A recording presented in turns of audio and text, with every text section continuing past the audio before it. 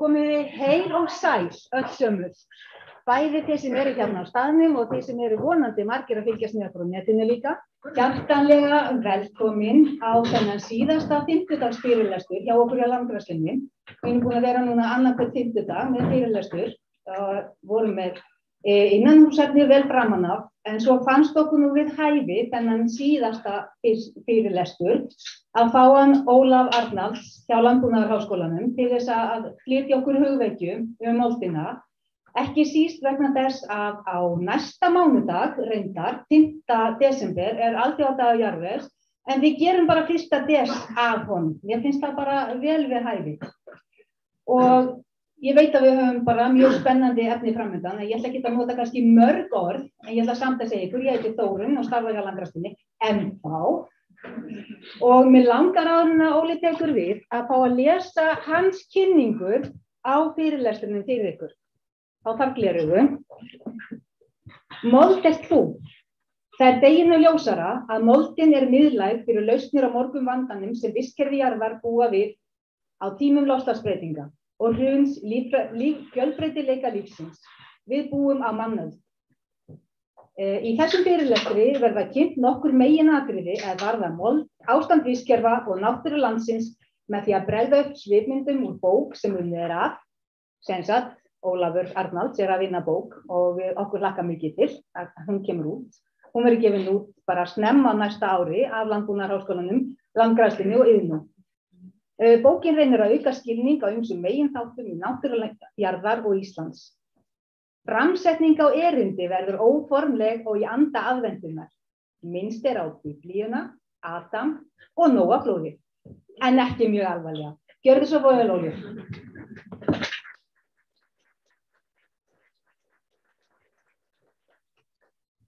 Uh, takk fyrir og, og, og takk fyrir að leiða mér að tala hérna í dag, það er mikið hliður.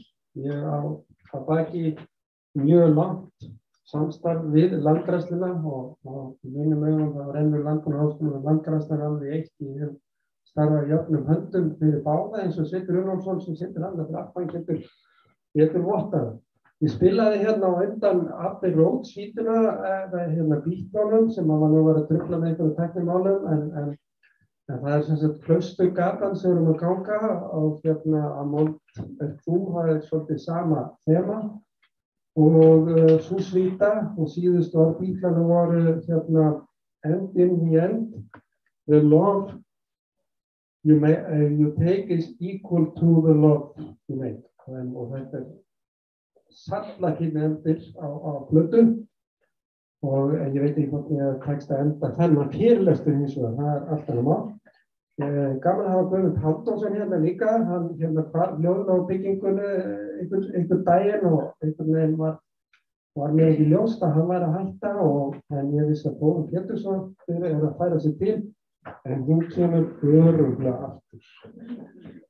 Eh, bara fyrst að vekja aðbyggla því við lifum á ansi viðkvæmum tímum og tvísunum, það er mjög margt ískipilegt að gerast í þessum heimi Við erum að ganga frá þessu netti uh, gjörsanlega og, og viljum samt ekki endilega horfast í augun við það og að baki eru svolítið skuggalöf, satanísk öll í gamlum bygglistum skilningum. Uh, við eigum bara þessa eina jörg og við eigum ekki jörg núm 2 útgáðum og það er loftslagskrísan gerist við við verðum að horfast í auðvitað hann að gera það í einu og lík fjölbreytilegi jarðar er að hrynja.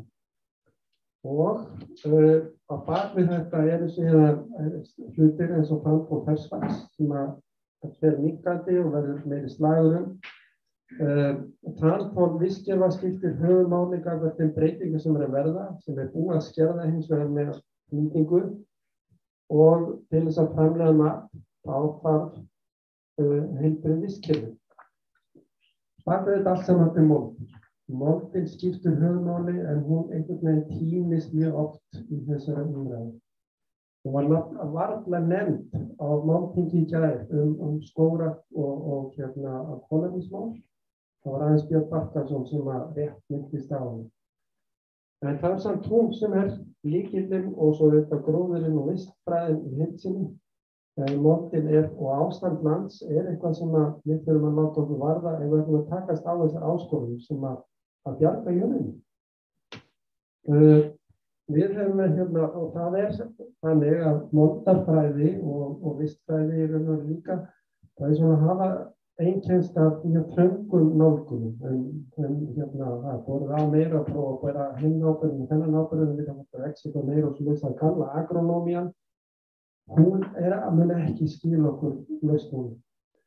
Og við þurfum að horfa þetta miklu heilstæðara og það með þessari bók sem við erum aðeins að minnast á hér nefnilega hér það er okkar nálgun. Það er ekki klassisk jarðisfræði sem endar með svona litlum uh, viðauka um, um vandamálinn og jarðvegsrótt sem gætnan er svona sem eftirmáli í svona bóku þetta er fókusin hjá okkur. Þetta er það sem skiptir mál Um, þannig að við erum að, allum að mynda grunn með þessum bók. Og hér er hluti af fórsíðinni á fyrsta, fyrstu kaplanum. Þetta er alveg óborgarlega flott uh, hérna myndverk eftir Einar Jónsson sem heitir Mond. Og hérna, og það leiðum okkur inn. Og við erum lengi, ég var aldrei skýrði þetta hugtæki jarðveg, hvað, hvað er, úrstofnum með það? Og hérna, sko, latínu þetta, sem er nú svona móðir máli til okkur öll svolítið, er, er, er það sólum sem er jörð, sól, og það er notað í alltaf málum þetta hugtæk.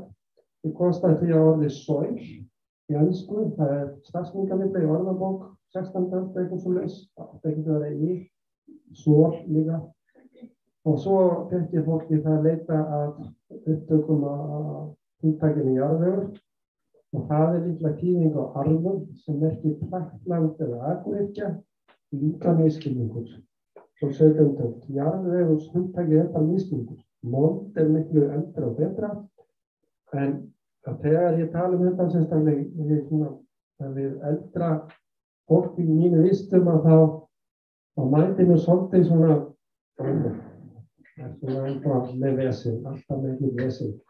En, en hérna, þetta er mót, þetta er mót, þetta er jarðvöðum. Það er það sem byrtist á þessari fræðu bók sem var byggt í 1997.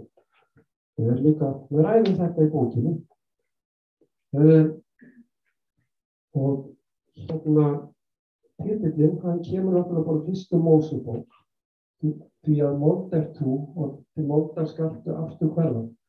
Þau voru alveg með þetta hreinu þarna fyrir nokkuð þúsund árum hvaðan við komum í 42. Við erum bara mótt og verðum aftur á mótt. Það er aðeins öðruvísu umbröðun og mólukólum í okkur hendur ofan í móttinni en það er hann svar. Og þá mótaði drottin Guð mannin að móndu hjarnar og blés lísanda í nasir hans. Þannig var maðurinn lífandi vera, segir í fyrstu mósubók.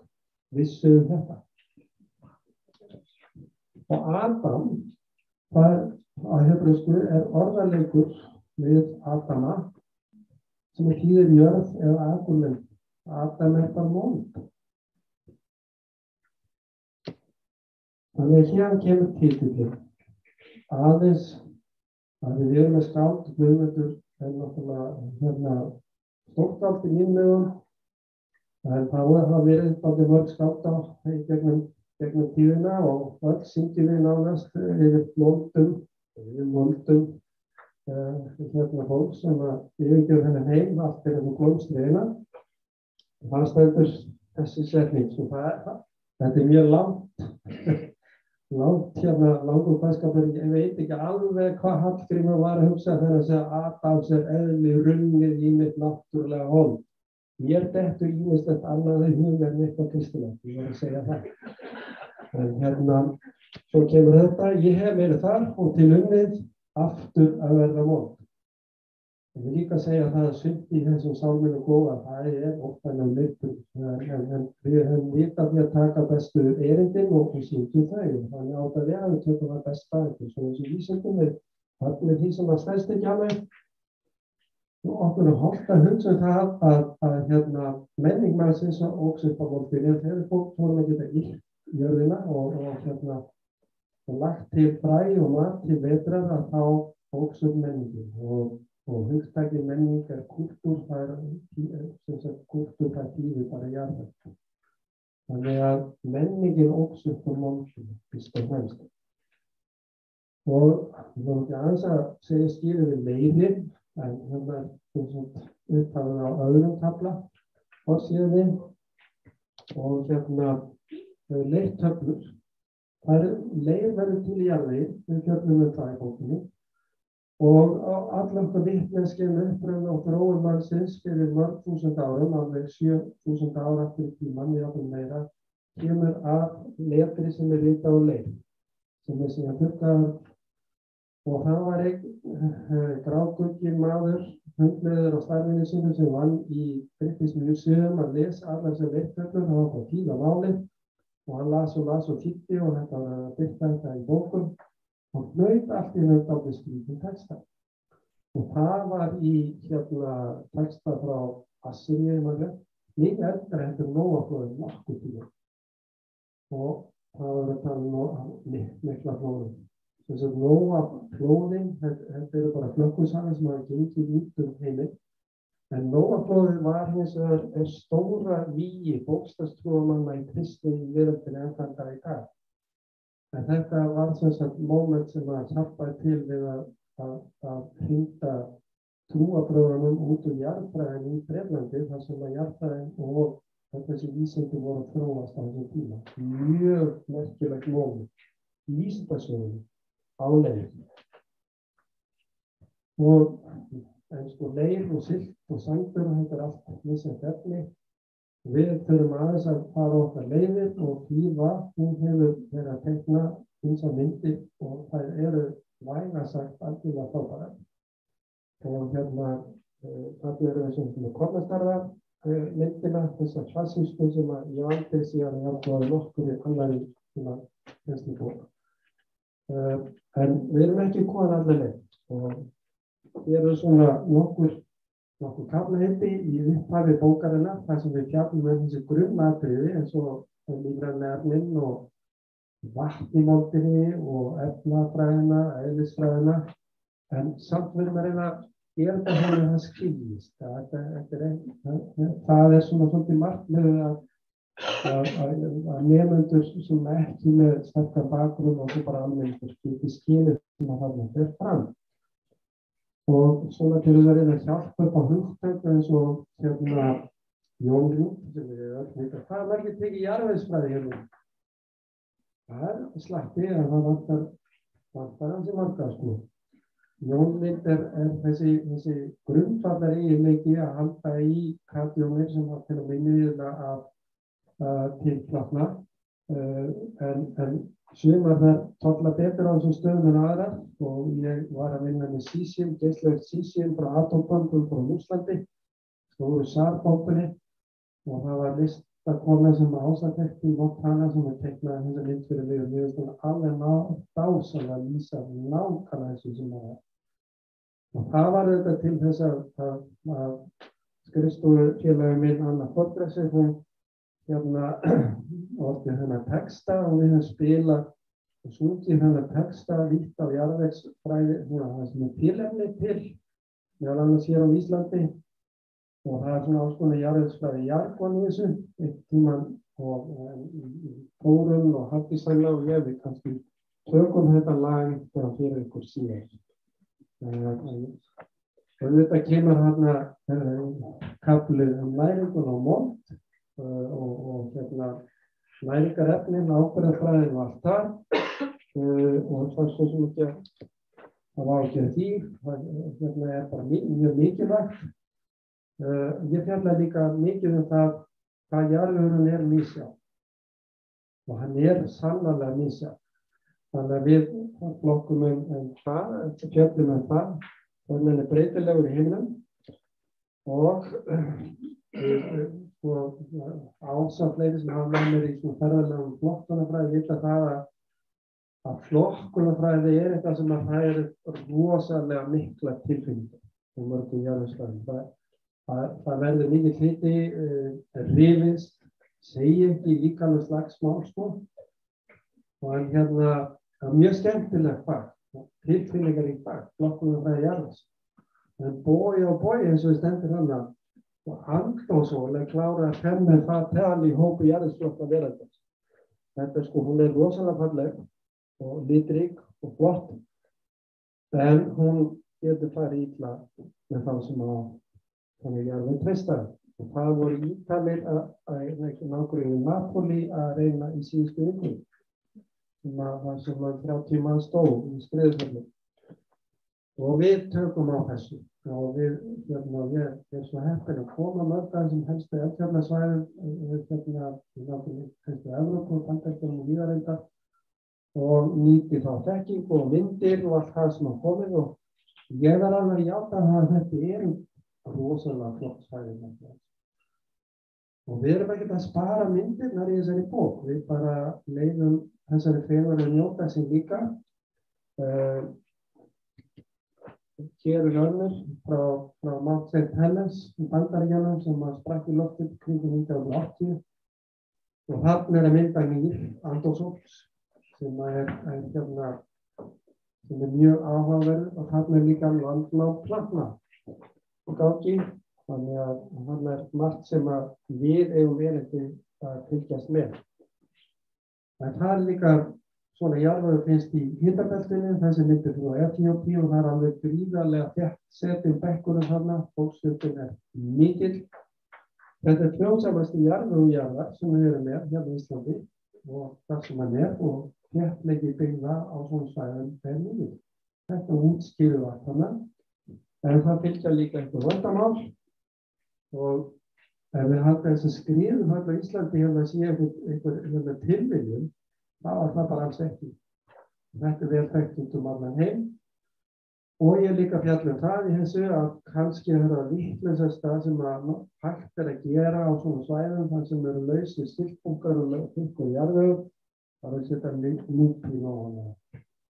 Það er ekki, kann ekki góður um eitthvað stýra. Og þetta útskýru allir bókinni og það verður sjálfsagt einhverju mjög ónaðir sjálfgar og það verður bara að hafa það og reyndar á það sama við hann barsko nú er maður komað á hættulega stöðu en hérna við sem sagt gerum grunnatriðum Íslandsstofu jarðvegs skoða skil og getum. Því að það er grunna fyrir því að halda áfram að fjalla um íslenska náttúru. Þá er það að kappa helstu flokkar flokkana á jarðvegi meðlisegileikana hefneigileikana og myndum jarðvegsins. Og það einkennir og gera okkar jarðveg svona sérstaklega eins og það er. Og það er margt svo flott í íslensku náttúru og til þess að skilja svona mörgnuð fyrirbreyði sem er svona óendanlega glæsileg þá þarf maður að hafa lært svo mikið jarðvegslega sem við getum gert það með að lesa bókina þegar hún kemur út. Þetta er ekkert venjulega flott en það veitur þessu aðtækni. Það er í gangi hér lesi bókina. Við, við líka fjöldum með þessi flokkunafræði aðla hálfpartið til skemmtunar því að hérna eins og WFI sem er það á flokkunarkerfi það er að verða ansi flóki nokkun aftur þessu einfalt sko og ég er að þegin að við hefum haldið okkur við að hafa okkar einfaldu skilgreiningar og eigum svo að prófa þær frekar áfram því að hvaða hvaða, ég myndi alveg svona fulltrúa félagsfulltrúa landgræstina bara að tala um Nýtrygg, Málmík, Endogleik, Sílandík, Aldarsson sem er Siltig, Battiflói, Kjúmík og Endog, Piss og Tóbik. Það er, það, já, það gengur ekki vel í bóndan, þetta er sko.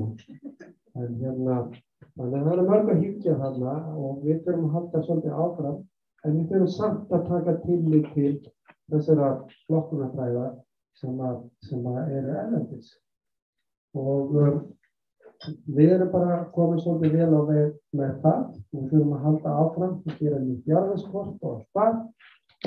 Um, og svo hérna hérna svona þetta við erum svo sérstum við og fallið alltaf kvennfólkið sterkustu kallan og allt þetta allar þessar ábyrðir og frasa sko.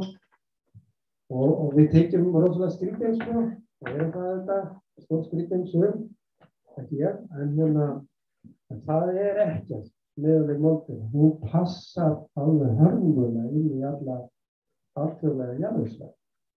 Þetta fjöldum við aftur.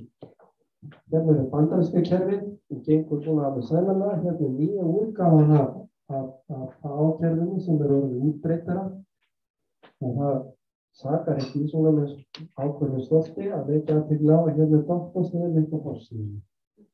Það er hérna mjög skemmtilegt að skilja að gera það að það kom út af þessari ferð sem að við vorum með hundinu fyrir landi núna í júni, í kulda og trekki. Við reyndum að drepa að slappa jæðisfræðingum og lossbóðum en þeir sáum við okkur og voru verið.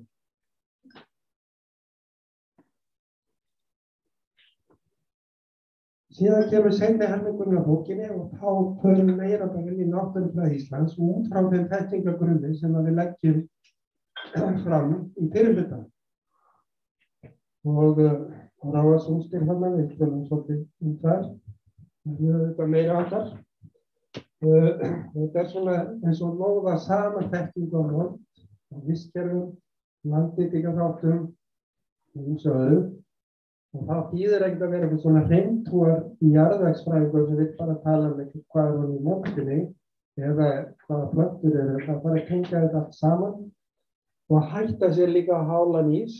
En það hafa bara verið undan með fólk eins og Þóri Pétursdóttir og, og, og Jónin Þorláks og Jóhann hér Helgi og einsir aðri. Og það þarf að setja þetta fram líka en í tengslu í mót. Við fjöldum um auðvitað frost hefur meira áhrif á Íslandi heldur en nokkuð staðar annars þar á byggjubóli í veröldinni. Og það verða til þessar indislegu landbóð þúur en og ísnálar sem að landgræsla fólk er farið að glýma við í upphafi í frumframöndu á Íslandi. Og það erum við að gera að skilja hvernig þetta myndast. Þannig við reynum að gera það og svo er þetta kvikkleið sem að myndast á, á meðlum og öðru þegar maður reynir að fara inn á þetta með að frostir jörðu og jörðunum blöytur hann ekki góður með kostíma. Það hefur þessum sína ástæður. Það er ástæði fyrir að svona gerist eins og í Mosesbæ 2015 og það fór til að sama frost og léleg gróðurhula og íslegt annan svona aðbyrju þurfa ekki að gerast og það hægt að stemma stíðu. Við erum líka á landgrænslega er að fjalla ægleira en ferðamál og ferðarfólk og ákom ferðamanna þar sem ísnálar eru sko algjörlega þar sem að endanum kálar viðborðinu og býr til montastíða sem að sem áður var græs. Það er útskýrt þarna. Mér finnst við erum að taka miklu fastari hjólræðinu þannig að það er að útskýra fyrir þeim af hverju þetta er svona vott að fá svona beina rásir í brekkur í hlýðum uh, og það það er hægt að gera þeim að fara með um hætti. Uh, Sandarnir hafa náttúrulega verið áhuga mál mjög lengi.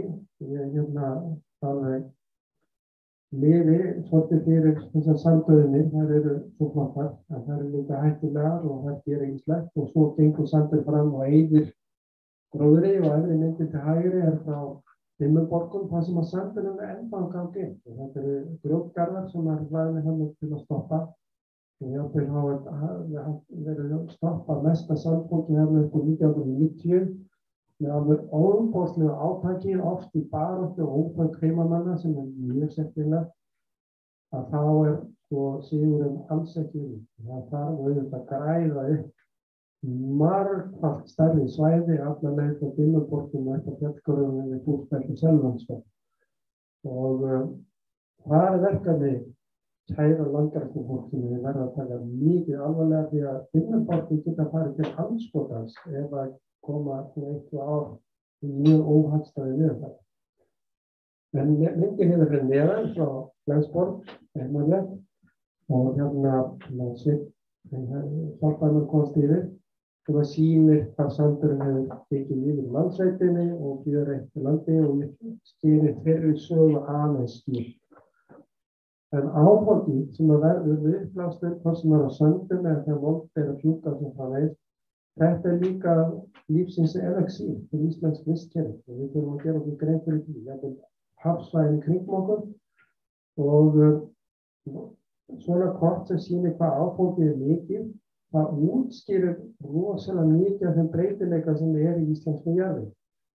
Og Bryndís, Simmi og Jóhann Forsson og ég, við erum einmitt að nota þessi kort til að halda áfram með uh, með að uppfæra í jarðarskort.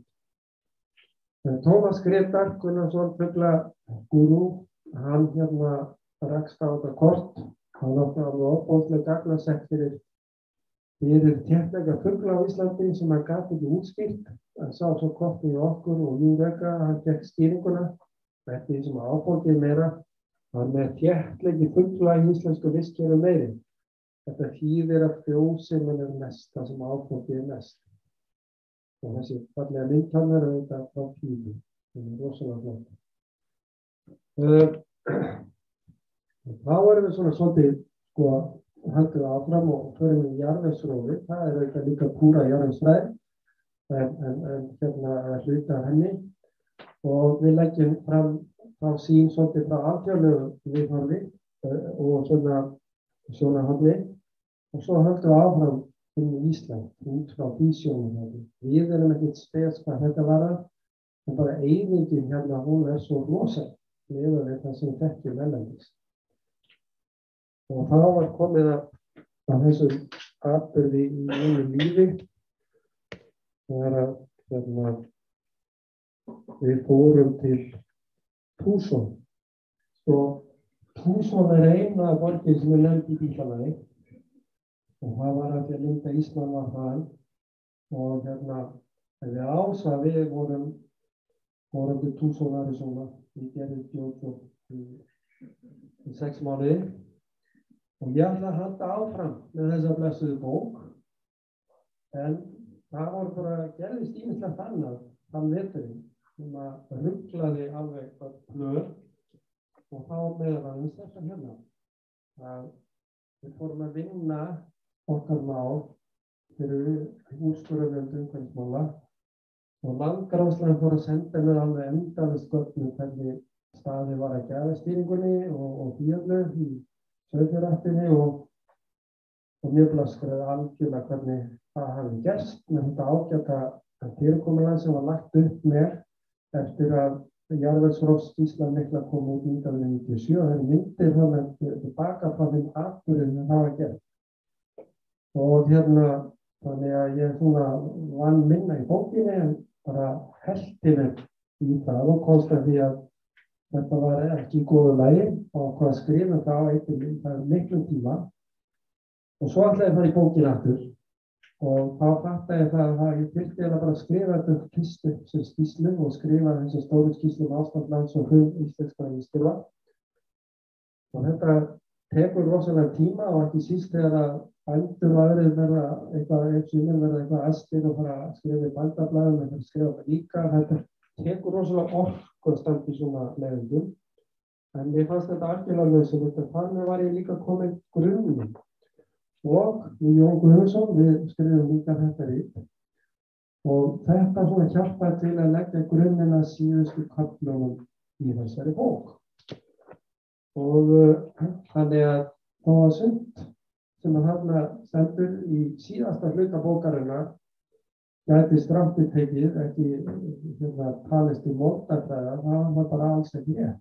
Það, það eru þetta allt hluti af sömu myndinni sem við erum að reyna að búa til á ástandinans uh, hérlendi sem annars það. Þannig hér er 19. kaflin upp á honum og það uh, heitir umsátur og landvirkjent, það er fullt af bókarköflum og greinum að koma svo út sem að hafa nánast sama títil á alþjóðarvettvangi. Og uh, við kemum að vandra hlutækið desertification, því að hérna, við erum okkur með mjög alvarlega eyðingum sem getur fattist undir desertification, en svo er bara fullt af þessum hugulega eyðmörkum eins og þessar sem við ásavorum að ferðast um í Arizona. Það eru bara ágjörlega gróna, sko, þannig laga. Við fjallum um ástand landsins eins og þarna er sínt til hægri og þetta er svona land sem að mörgum útæktum kemur bara ákveðna í. En er auðvitað bara í hörnulega ástandi uh, og við útskýrum aftur. Og svo förum við í með hlur íslenskara vískjara og það er með þess að rækta heimildi fyrir því að það er ekki svo margir trúa sig, við horfa á svona upplýsingar. Þannig það er tekið, tekið svona á því frá mjög mörgum sjónahóðum hvaðan þessar himmitir koma. Og þarna myndir upp til hægri, hún er mjög dásanleg, drónamynd tekið um fórsmark með áttina almenningum og afrikti fjöldsleika sem að meðan landgræðin hefur að nota svolítið núna í sínum framsetningu uh, og, og hérna á síðan mynd frá hotstörndum mannum. Við líka nýja rannsóknir sem að hérna Bryndis og Simmi og Jóhann og ég hefur verið að fundi og erum að reyna byrta og það tökum voru við lagðið út 500 random punktur fyrir landið í hitt sem svo punktar sem sást á hitt og þeim var síðan skipt upp eftir stafsefningu eftir hvaða voru landinu og í grólindaríkunni þrýr og, og herra það þykir svona ásættanlegt en allt sem er þar fyrir neðan er ekki, er ekki gott og sérstaklega ferði 2 og 1. Þá kemur ljósa skuldpunkturinn á regressjónum er gefna 400 metra hæg en þegar við förum út á annessin á vestfjörðum og fyrir norðan Tjörnesi, Tröllaskaga þá er hún 200. Þetta er rosalega beitt tæki til að segja við eigum bara að taka fyrir ofan að hálendinu nema einhverjum mjög sérstaklega aðstæður bendir til að sé óvægt að hafa. Þetta er alveg ljóst og þessi gögg sína þetta svo rosalega. Það er ákveðsvæði út til landsins sem að standa hann að harra, sérstaklega á Norðurlandi, sem að koma alveg saman út og það er átt á vorlendi inn í öðunum og við tökum þessa, þessa grein, ég er þess að við vorum að vorum til tvæmi út áður en hún er alveg hlutaðið sittir í þessar bók líka, hún er í review núna með okkur. Og svo hættum okkur í þetta fyrirbriði rætur landkenninu og þetta er á Lósöðröðum og Skildidalum þessar tvær myndir hana og við fjöldum um lögur reglur, við tölum um landbúnastyrki, samfélagsíkinguna og stopnan yfirtökum. Samfélagsíkingu kemur svolítið eftir doktorsvörð Fórum og Péturs. Þá fór ég að kveika miklu meira því að andmálendin hennar, hann vildi að hún hefði farið meira inn á það svið. Og svo er það ung fólk sem er í einhverjusfræðanum og okkur að landgarðnum þeirra sem hefur aðeins verið að pæli þessu hundtæki stofnareyðtöku sem er alveg frábært að taka með. Og Ísabeth Barri og ég, við erum, uh, er að koma út bókakafli sem að fjalla svolítið um þetta á svona breyðum verkvangi og, og hérna sjónahófni það sem við erum að ákveða módel sem við byggjum út frá sem að sem líka við sögum.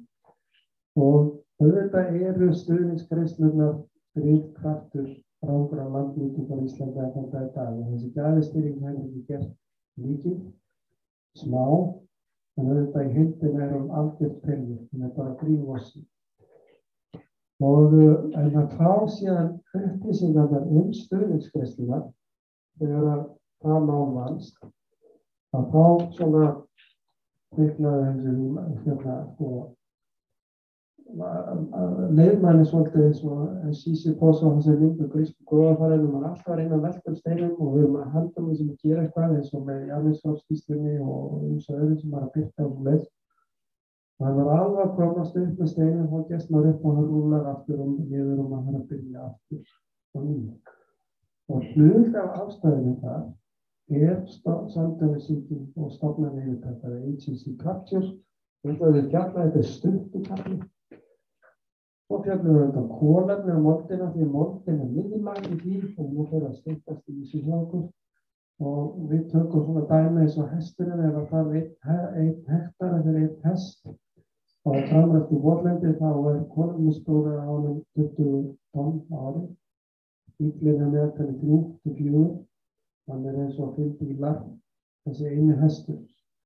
Þetta er svona alls konar viðkvæm ál sem að fólk og við að setja fram áður og svona að það verðist engið þóra að taka þessu umræð en við bara, ég og bara alveg takkaður við höndum áfram við þetta og hægum þessu áfram. Og svo erum við náttúrulega með alveg dásælu dæmi um mikla kólagnis uppbyggingu og eins og í, í fórsmörk og fjöldumsöktum í fórsmörkum Við fjöldum um losunna frá íllafögnu mólendi sem er gríðanlegt Og þetta er oft svæði sem koma bara ágjörlega út í grónu, eins og þetta svæði hérna hægðan. Uh, og hérna, en eru samt að enda alveg óbúðslega magna koltusýrni. Síðasti kaflin er, er svona bara að ég myndi hafa þetta eftir flott að hafa moldi skalltur aftur verðu.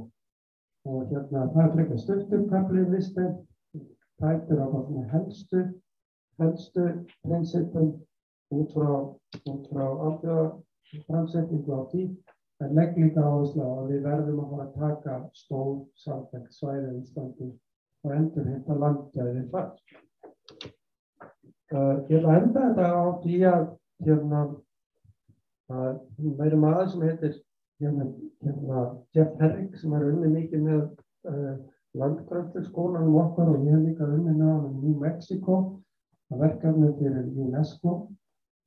Um, og hann sendi mér þetta, hann hefði bara rífið síman þegar hann sá hvað var að gerast og þessi maður hann hefði ræðustól á hérna trippul hérna meetings í hérna stóru þetta er átt 1.000 mann sem að sækja þessar aðstæðum Agronomy Society of America, Crop Science Society of America og Soil Science Society of America. Og það var sem sagt vísindi editorið rittstjórið frá National Public Radio sem er risa apparat í, í í bandaríkjum og hún var búin að flytja kínót eldanum og hérna kemur hérna pittislaga Conveying the Truth in a World of Doubt. Og hann segir það að það er ekki ná að rannsaka og byrta nýðistu. Vísendamenn eiga að taka þátt í mótun samfélagsins með staðlunum og vísindamenn, svo koma þessi útjáðan, ætti helst að geta sagt sögur þeim, þurfa að vera communicated, þau þurfa að geta lagt fram það sem hún er og þau þurfa ekki að geta bara konfronta ef það er, ef það er það sem það þarf að gera. Fint og slæg og þetta er úrlega sem hann svo byrtist næsta glæða. Það var hérna andir eins og ég. Hann hefði heimsótt Ísland 2007, hann hefði greinlega haft mikil áhrif á hann og Þannig þrjármyndur listan kostum okkar. Aldrei sérlega hvað við varum alveg frábæri communities og sjögumenn og allt það. Og hérna og það var líka sunna og unga árum. Við fættir fórum út í Getasand og, og, og fleiri. En, en máli er það og það er merkur málsins að við eigum alveg ótrúlega sögum að segja en hún pefnur alveg sama það sem er að gerast að lendis með persónulega leikendur, styrkirna og samfélagsíkjuna og allt það. Og, og, og svona ferðlu og allt það, en við höfum líka gert gott og það skiptir máli, þannig við skiptum máli og allt þjóðverðfólk og hérna, þá er ég komin eða að loka glærum minn, máli er að þetta er svolítið sérstakt, svo voru hér í bæin, Richard Harris og, og tökumæðurinn hans og ég, gamla páturunum CD-spilara, við erum með, með tónlist frá Lucinda Williams og hérna á það er mikið upp á hans lag sem að heitir What If sem að eða fjallar um táranleikana og hvað sko og hvað þarf eiginlega að gera þess að við höfum að sína hvort það eru verið einhvern sem er síðast að gera þetta hana og auðvitað á National Public Radio þá Sarah Sonos, and then we'll end up with playing all his favorite song from Lucinda Williams og svo spila hann að hlæði. Og ég kannski spila það hérna lefur mig ganga hérna eftir, en hérna sem sagt lókið málið mig núna um þessa bók. Hún kemur vonandi út bara nú í januar, það er mjög dögleg, og hérna, hérna, ímsið sem að þá er mjög aðeins mútið maður, en hérna en, það skal gerast og hérna og þá erum við að halda fram. Takk fyrir.